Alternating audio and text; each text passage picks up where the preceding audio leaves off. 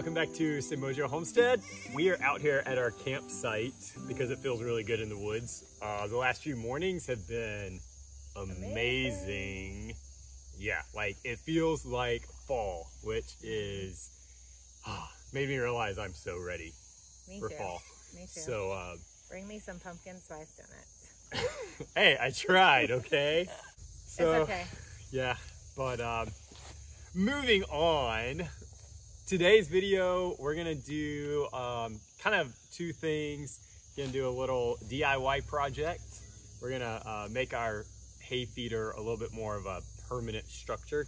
And then we're gonna go to the kitchen for a recipe. Spice up our videos a little bit. There's a little clue. yes, we are. Yes, we are. So, but first, we're gonna do our highs and lows. This is a weekend video, so it's highs and lows time. Um, I think I'm gonna start this week. Yeah, because I don't know what I'm doing, so it's all you. Okay. Uh, so, my high is, it kind of goes along with fall weather. It is that football is finally starting. Uh, definitely like love football. That's big in our house. And you know, last year it just wasn't the same just season being so different, no fans in the stands and stuff like that. So uh, this year, super excited about it. Um, we are recording this Saturday morning. And so by the time we release this, I'm hoping I will still be as excited because if you can't tell, we got a big game tonight. So my low, other than these insects that keep coming in and out, and I know they're coming through on the video, is the fact they had no pumpkin spice donuts this morning. Terrible. I know. Terrible. I was so devastated. Wasn't really even expecting them to have it because I felt like we were still a little bit early, but you know, everybody pushes them out soon. And so when we went to the restaurant and I saw that they had them, I was like, yes. And we got up there and ordered and they told me they were out. And I was like devastated. It's terrible. I know. It's terrible. I had already mentioned that like this weather made me want pumpkin spice donuts. And right. when I heard that he was going this morning, I thought, oh yeah, that means I'm getting my pumpkin spice donuts because if I know my husband, he's gonna come back with them for me. And then he didn't. I tried. He tried. I tried. That's all that matters. Yeah. So what about you? So my high is dance starting back. It was great to see the girls and be there at the studio with them again. Um, I think it's gonna be a really fun year. So I was excited about that. Um, my low, well, my aunt left, so that was kind of hard, really hard. Um, I wasn't ready for her to go. And also, um, just some, you know, stress, I think, of for the girls starting back. There was, um, it was audition week, so there was a little extra tension and stress in the house, so that wasn't very fun either. Yeah. That's it. That's it? That's all I got. Oh, that was easy enough. So for the hay feeder, um, we get the big like 800 pound bales for the cow and then we just pull off of that for the goats.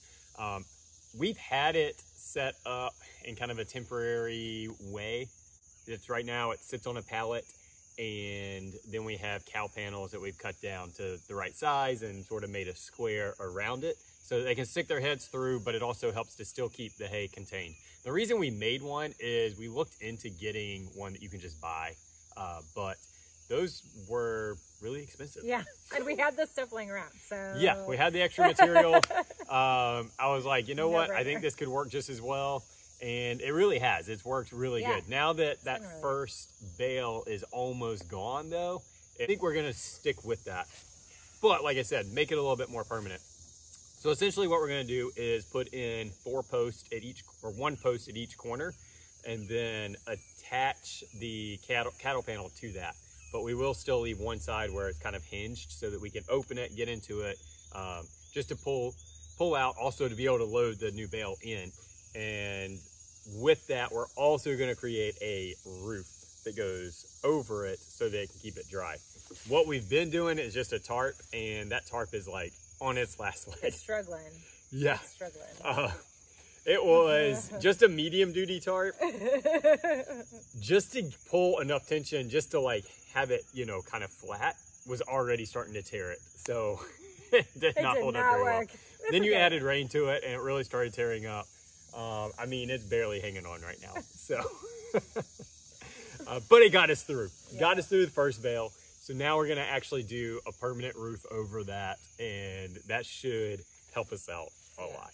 I think that's like the a big thing with homesteading though, is like you try stuff and you realize, hey, this needs to be tweaked here or there or whatever. That's what's great about using kind of what you have around because then you can really figure out what you need, how you need things to work and what doesn't work, and then you can adapt and you didn't waste like thousands of dollars in the process. Yeah, and that's a good point. I mean, that's one thing. Like we had the materials laying around.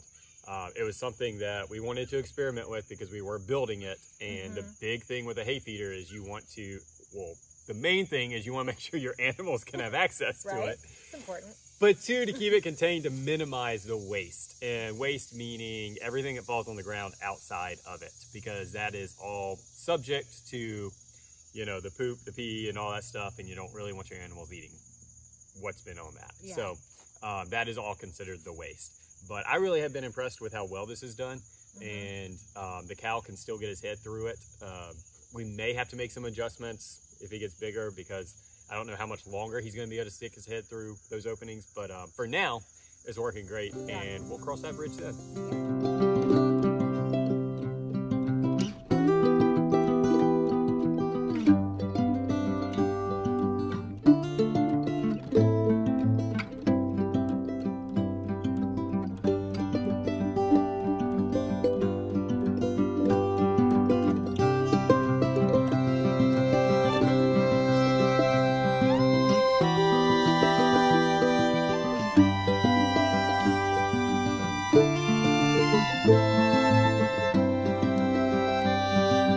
Got those up, so we've got four in. I'm not real worried about them all being the same height and everything else. We're putting a roof on it. It has to have some slope. So I knew that if I didn't measure everything, we'd have enough. I would just face the metal roofing in the direction it needs to go to shed that water off.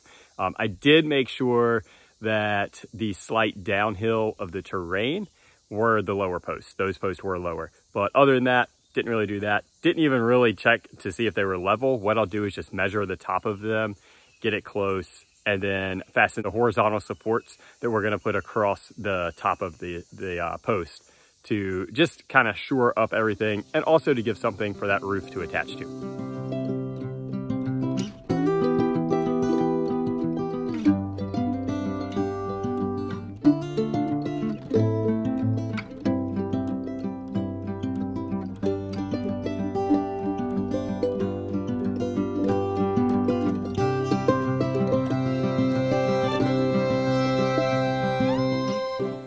Right, so finished this almost. Um, we do still have to put the cattle panel up, which we will do when the new bale of hay comes next week. I uh, want to leave it around what's left of that last bale just to keep the baby goats out so they don't poop in there and then start eating it. So we do need to leave that up, but those will come apart, come over here, we'll attach it to these posts. And like I said, we'll hinge the one on that side so that we can just pull the tractor in, load it, and shut it back up. So really happy with how it came together and hopefully this thing will last us for a lot of years. So that was Jeremy's project for the day. Now let's go to the kitchen and spice things up with our hot sauce. Hey guys, so yesterday we ended up having some family time and cleaning up some stuff in the garden and just didn't end up having time to do the, um, the recipe for today. So we're back, it's a new day, and we're ready to make some hot sauce. So the hot sauce we are making today, get a few ingredients, you blend them together until they're smooth, and then you put them in a saucepan and boil them. It's really, really, really easy. We'll go ahead and get started. The first thing we're gonna start with is onion. Now, you can use either one large onion or you can use a tablespoon and a half of onion powder. Today, I'm using the onion powder. Um, I don't know if y'all are like me, but chopping onions makes me cry. So I wouldn't want to do that on camera anyway. So my son likes to watch us cook. He likes to help cook. And whenever we're cutting up onions and our, our, our eyes start watering, he says that the onions are doing their thing. So it's come to, it's now become an expectation that whenever anyone cuts up onions, that they should be crying. Okay, so we did our onion. Now we are going to add some garlic. And this is actually a lot of garlic. We're gonna add four tablespoons of garlic. So one, two, three. Now we have not mastered getting enough garlic and onions for our house for a year. I have to say, we use a lot of garlic and onions. So that's like kind of one of my goals for next year is to figure out how to grow enough garlic and onions to be able to kind of replace some of these things that I'm using. But one thing we can grow is oregano. And so we just got a bunch of oregano and we're just gonna throw it in there. Um, I'd say that's maybe roughly a, a, teaspoon, half a teaspoon you can use. Um, but we just got a bunch and throw it in there. The other thing we use now is some cumin. And we are going to put in a half a teaspoon of cumin. Okay, so I was using, I realized I was using my dry container and we actually need to use the wet container. So I had to do a little switch. I also added um, some mustard seed. It actually calls for mustard powder, but the stores didn't have any mustard powder. So I got mustard seed and we put in a half a teaspoon of that. So moving right along. Okay, so next we're gonna add turmeric. I need a half a teaspoon of turmeric as well. If you can't tell, after the garlic, you just add a half a teaspoon of everything. So there's our turmeric. Next, we need a half a teaspoon of black pepper. I am adding also a half a teaspoon of smoked jalapeno powder. These are, this is powder um, that we made last year. So if you don't have it, you can just omit it, but we want that smoky flavor. So I'm adding a half a teaspoon of this as well. It's actually not very hot. It's just really smoky. So um, that'll be nice to have in there. So these are all of our seasonings that we are going to put in there. And the next thing we're gonna do is we're gonna add our hot peppers.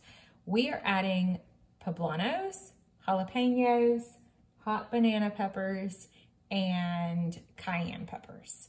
Um, and we're just, I didn't measure a certain amount out. We just need two pounds of hot peppers. I basically just threw hot peppers in there while the, the bowl was on the scale. So I wasn't really paying that much attention to it. I was just throwing in hot pepper. I'm gonna go ahead and add this.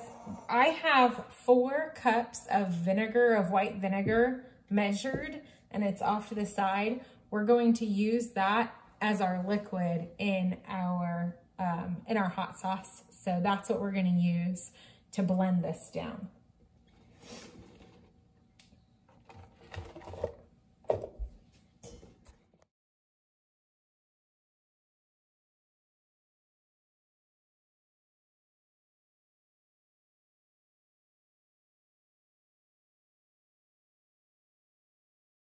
Make sure your peppers are blended, blended really well.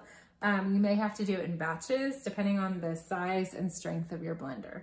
So I'm gonna go ahead and pour this into a saucepan. And, and then I have reserved about a cup and a half of vinegar. I'm gonna pour that in here and use that to get all of the remaining bits from our peppers. So I went ahead and I added my vinegar and I turned the blender on again just to get everything cleaned off the blades. I'm going to pour the rest of that in there. I'm not going to stress too much about the foam or anything like that.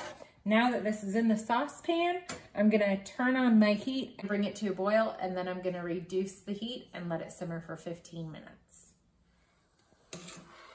Okay, so it has simmered for 15 minutes. It is officially done. It smells amazing hot, but amazing.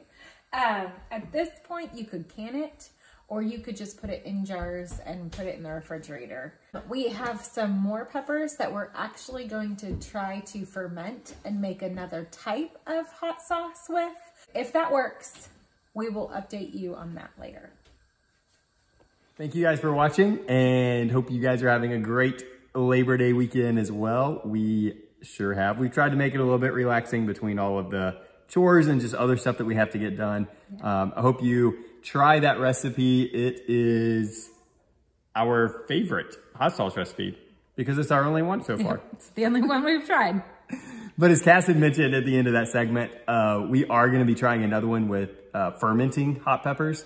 And so we'll see how that one turns out. And if it turns out good, we will do a video on that one later because I'm kind of excited about trying that one. Add a little um, extra dimension of flavor and stuff yeah. in there with the fermentation. So yeah, and it'll last a little longer, so that'll be nice. So once again, thanks for joining us and be blessed.